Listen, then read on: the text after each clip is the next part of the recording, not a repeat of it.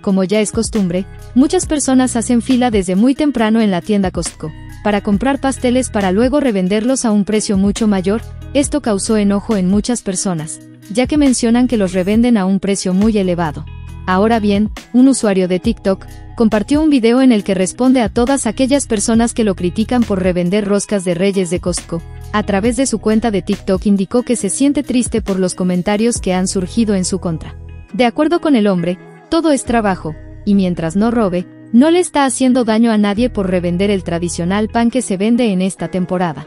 En su video explica que ahorró durante los últimos meses para poder comprar varias roscas de reyes para poder revenderlas. Jesús explica que durante Navidad, no hizo gastos para poder comprar algunas roscas, además de que no obliga a nadie a comprarlas.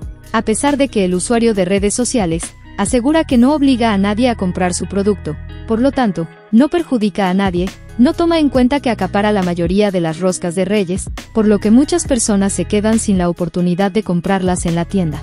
En redes sociales, usuarios respondieron molestos por la forma en la que el hombre intenta justificar su actuar, mencionando que no es justo que eleve tanto sus precios, pues llega a vender las roscas hasta tres veces más caras de su precio.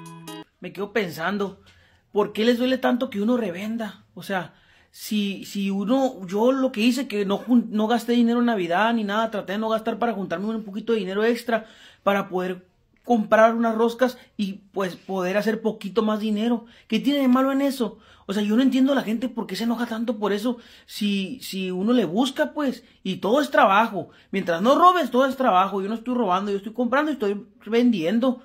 Y la gente sabe, si yo le digo, eh, esa persona me dice cuánto, yo le digo, no, pues tanto. Y si esa persona acepta, ella está aceptando.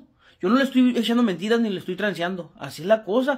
Pero yo no sé qué pasa con la gente, la verdad. A mí sí me agüita mucho que sean así.